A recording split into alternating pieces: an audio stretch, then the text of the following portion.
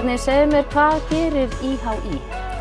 IHI heldur utanum uh, allt svona starf, íshoki starf á Íslandi, Já. uh, landsliðin og uppbyggingastarf, uh, hvenna og kalla landslið og Íslandsmót í íshoki sem er þá mestarflokkar kalla og hvenna og niður í uh, 14 ára krakka.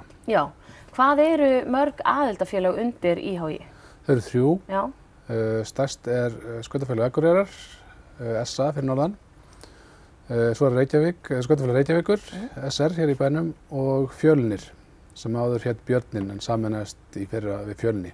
Já, og þeir heita þá nú orðið fjölnir. Já, upp í Eilsöll. Já, ég skilji. Nú byrja krakkar að æfa hokki til til að snemma. Hvað eru svona yngstu krakkarnir að koma inn hjá þér? Það er alveg í fjórar aldur sko, Já, svona yngst sko. já. Er ekki mikið, um, mikið yngra en ég held kannski ágætlega, ágæt, ágætlega ungt. Já, og svo eru þið náttúrulega með eh, hockeyspilar á öllum aldri og, og stelpur. Eru þetta blandaðir hópar eða er þetta kynjaskipt? Nei, þetta er uh, blöndu lið alveg upp í mestaraflokka, sérst, kann að kalla lið. Það, það skiptist rauninni uh, alveg. En upp að því, upp að svona 18-20 ára er þetta blöndu lið. Já, heldur að sé ykkur sérstöku ástæði fyrir við erum blandar? Eru færri stelpur sem sækja hockey heldur en strákar? Eh, já, þetta er náttúrulega verið uh, svona stráka og kalla íþrótt fyrst og fremst gegnum áratögina. En hvenna íshoki er mikill uppskilningu síðustu ár og, og þannig að eins og til, til dæmis uh, hér og bæði því hér og fyrir norðan er, uh, er þetta svona hlutallega nálgast jaft í yngstu hópunum Já, ok. uh, og tímbili hélt til dæmis SA og tveimur kvennaliðum uh, en það er svona við erum aðeins verið setna hérna á höfbakarsvæðinu Já. uh, og höldum út einu liði saman, Fjölnir og SR Mm. uh, það var eitthvað saminað fyrir þreymur árum til þess að uh, styrkja uh, uppbyggingu kvennastarfs á höfbakarsvæðinu vegna þess að SA hefur bara átt svolítið sviðið Já, uh, af því að þeir voru bara að vera mjög duglegri í sínu uppbyggingastarfi akkurat. en við erum svona erum verið að býta í hælan á þeim núna. Akkurat, akkurat. Hérna En uh, segðu mér, hvað er þið, nú erum við með landslið, erum við með kvennanlandslið líka? Já, við erum með hvernig landslið. Og hvernig gengur landsliðunum okkar, svona bara með við Norðurlöndu kannski? Við erum náttúrulega tölvöld uh, fyrir neðan Norðurlöndin. Mm. Uh, þeir eru náttúrulega flest er náttúrulega Svíþjóð og, og hérna, Finnland eru náttúrulega fremst í flokki. Mm. Uh, Danmörk og Noreg eru líka mjög ofalega. En við erum, um, bæði hvernig og kalla landsliðin er í, í annari deild B-riðli. Já, Og uh, við höfum náttúrulega verið aðeins ofar og svona, þetta er svona, við höfum verið að rokka á milli. mhm, Uh, og nú erum við með, einmitt með tvö HM hérna á Íslandi í, núna í vetur, já, ok. í, í februar fyrir norðan. Það sem hvenna, uh, HM hvenna verður haldið og ætla vonast til þess að fá gullið og fara upp um deild. Já, eðlilega. Og svo hérna í lögadalunum í april uh, HM kalla og það er sama, sama þar og vonast þess að taka gullið og fara upp. Akkurat, en er þetta í fyrsta skipti sem við höfum HM hérna eða hvernig? Nei, þetta er alveg mjög reglulega. Já. Í janúar fyrra vorum við með HM með 20 kalla Mm. hérna í Ljóðdalunum. HM Kvenna var fyrir tveimur árum eða rétt Mm. fyrir norðan. Þannig að þetta er mjög reglulega hérna á Íslandi. Og hvernig er sko, nú þegar við erum með svona stór mót og svona eins og þegar við erum að keppast um Íslandsmeistaratitilin og svona, e, eru hallirnar alveg stappaðar af fólki? Er hér stemming og gaman? Já, sérstaklega úrslutakeppni sko Já. og uh, þá er mikið og á HM það hefur alveg verið tróðfælt hérna. Já. Þannig að það er, já, það hefur verið mjög góð stemning. Því trú ég. Nú mér langar aðeins að fara í öryggisbúnað eh, krakkana og þeirra sem er að æfa. Nú er þetta engir smá gallar. E, er nöðsinn á þessum og getur aðeins farið yfir öryggisatriðin með mér? Já, já, já, þetta er alveg nöðsynlega búnaður af því að náttúrulega uh, ísokki náttúrulega er, er mjög erfið í Mhm. teknilega þú ert að geta staðið á, á hérna, þunnu blaði og fara miklum hraða og nota, vera með kilvu og það, það verða árastrar og fólk dettur og þannig að það er mjög mikilvægt. Rekist í næsta manni Já, já. Þannig að það er mjög mikilvægt að vera velvarinn og krakkarnir eru með hjálma. það eru uh, allir krakkar upp að 18 ára eru með grind fyrir andlitinu líka. Svona, uh, og hvenna liðin eru með grind bara alveg upp í mestarflokka. Já. Uh, uh, krakkarnir eru með svona brinjur, það sem eru með sett, sem hlýfa bæði maga og, brjóstkassa og aukslum og baki. Þau eru í buksum sem eru með, með hlýfum inn í og uh, svo erum við hérna, njáhlífar Mhm. og olbúarhlífar og hanska. Og, Þau eru semst bara alveg dúðuð. Já, þau eru verða að geta fengið pöttin í sig á, Já, og bökkurinn er náttúrulega harður og fer rætt og getur verið mjög vant að fá hann í sig, þannig að það er, það er mikilvægt að það sé velværin. Akkurat, laugrætt. En hvernig er með eins og hallarnar okkar, hvernig er aðstofan okkur svona almennt? Já, það er, við erum með þrjár hallir hérna á landinu, mm. -hmm. Eilsöll, í Lögadalum og Norðan Mhm. og en til þess að íþróttin geti stekkað, þess að aðstofan er alveg fín eh, í þessum höllum, en Mhm. til þess að þess að geta stekkað, íþróttin geti stekkað, þá þurfum við fleiri hallir Mhm. Og uh, bæði til þess að geta uh, efla alltaf, fjölga yðkundum og efla landsliðin þá Mhm. þurfum alltaf ef það eru fleiri lið til þess að leggja í búkið þá alltaf verða líklega betri. Akkurat. Hefur það eitthvað verið í kortunum að, að, að reysa aðra höll?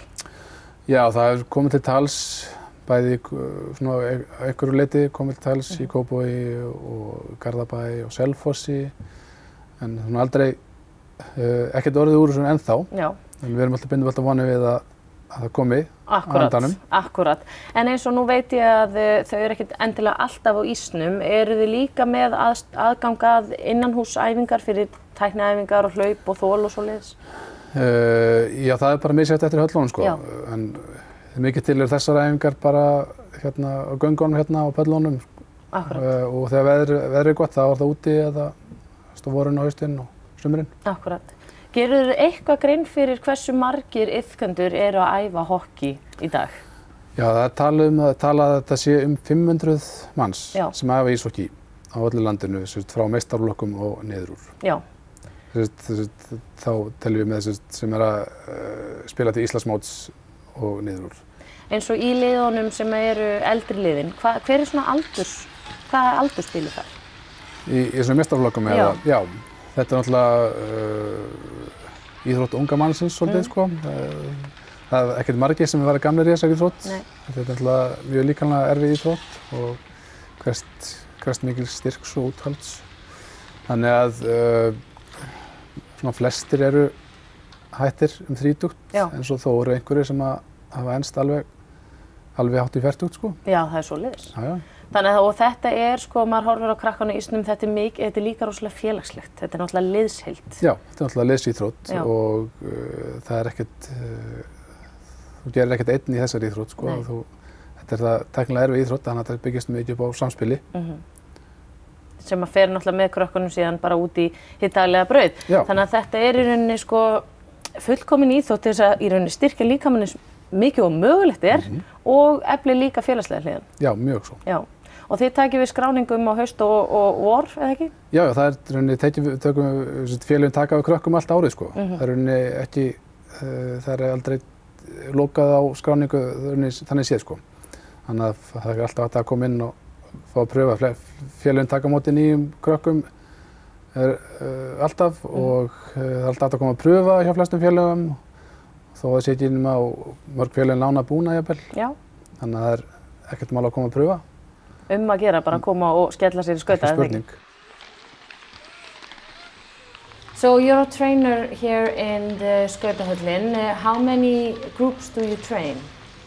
Yes, uh, we do have one, two, three, four, five, six, seven groups. Wow. So, yeah, From five years old to, to 18 years old. okay. And you also play yourself? Yes, I do. How, why did you decide to come to Iceland to play hockey? Well, that's uh, that's that's a long story, kinda. but uh, I want to change something in my life. When I ended up the juniors hockey in Czech, back home, and uh, my friend was here in that time, 2013, and I asked him if I just can join him. He said sure. So I came and uh, yeah, I became the Icelanders. So after five years, so it was it was good good Yeah. experience. And you like training the kids? Yes, it's uh, it wasn't that that good in the beginning. I, I, I thought like I can do this, but after a couple of years, I just I started loving it, and now I'm all the way in actually. Yeah. And the kids, uh, they they are, uh, you know, do Icelandic kids have like good physical background or genes or whatever? Do, do they? yeah, it's uh, they have a different mentality Yeah. than the actually kind of hockey country in the Europe and in the States. So it's it's kind of hard to deal with these kids, but it's it's good. Yeah. They they learning really really fast.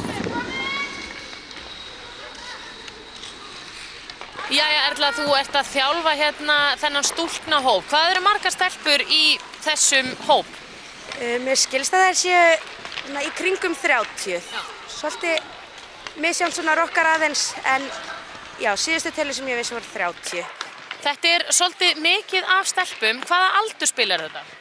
Þær eru frá bara hérna 34 ára og upp í hvað, 14 ára hérna á þessum stelpuæfingum. Og hvernig gengur að samræma svona víðan aldur? Það getur verið trikki en það gengur ótrúlega vel. Við reynum að hafa æfingarnar þannig að þær séu við allra hæfi og hver og einn fái sem mest út úr æfingunum sé að æfa með stelpum sem er á sama getustígi. Þannig að við skiptum hópunum svolítið upp eins og við erum með hérna núna. Þá eru þær allar að spila á sínu leveli. En þær eru allar svo flottar og góða vinkonur og þetta gengur rosalega vel. Bara Og uh, myndur þú mæla með þessari íþrótt? Alveg klárlega. Þetta er ótrúlega skemmtilegt og þetta er líka bara, þú veist, hvað þetta er að vaksa mikið, þetta er ógeðslega gaman og ég held að stelpur séu svolítið að fatta það núna.